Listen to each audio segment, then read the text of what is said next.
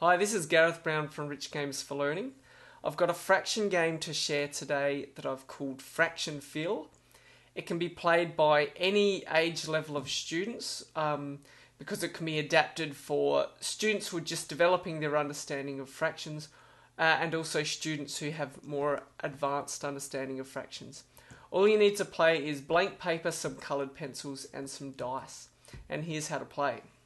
Okay, now to start off, each player just needs to draw a circle or a square, something that can be divided up easily into different fractions. I've just got two circles I printed off here.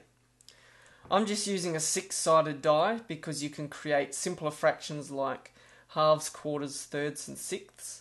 For more advanced students, they can use maybe a 12-sided die or 10-sided die, something like that. Players taking in turns rolling the die. So blue has just rolled a 3. Once a player rolls the die, they need to decide whether they're going to make the number into a numerator or a denominator. So blue's going to make 3 into the denominator. So they put right the 3 and they have to do the line to show whether it's a numerator or a denominator. So they can't just draw a 3 and then decide whether it's going to be a numerator or a denominator later.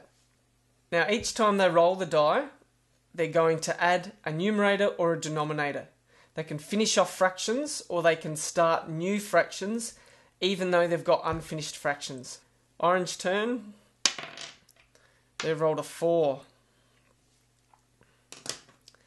They can't make 5 quarters because they're not allowed to make a fraction that is a whole or greater.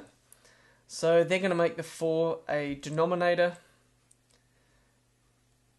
to get a fraction that's a fourth. Now that orange has a complete fraction here, instead of rolling the die to get another number, orange can shade in part of this circle using this fraction. Now the aim of the game is to be able to shade your complete shape before the other player. Now, by to do this, you can use the fractions you've created up here. So, orange has created a quarter. They're going to cross that out because they're about to use it, and then need to divide the shape up into quarters. So I'll just do rough quarters like this and shade in one quarter.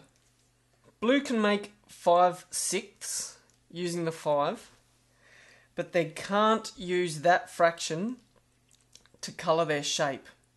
They can only use fractions that will fit inside the space that they haven't shaded yet. And 5 sixths is too big because they've already shaded a complete third, so they wouldn't be allowed to use that fraction. now, orange has just rolled a 1, which means they can turn this into 1 quarter. So on their next turn, they're going to use that one quarter to shade in the rest of their shape. But on a turn, you can only roll the die or use a fraction to colour in your shape. You can't do both. Alright, now the game is finished and Orange has won the game because they shaded in their whole entire shape first. Now in this game, Blue was using thirds and Orange was using quarters, but they can mix up fractions when they're playing the game. So, for example, if blue had a quarter they could use, they could divide their shape up into quarters and then colour in a whole quarter. Well, thank you for watching. I hope you find Fraction Fill beneficial for your students and that they enjoy playing it. If you've got anything you'd like to add or some feedback, then please leave a comment and share the game around with your friends and colleagues. Thank you.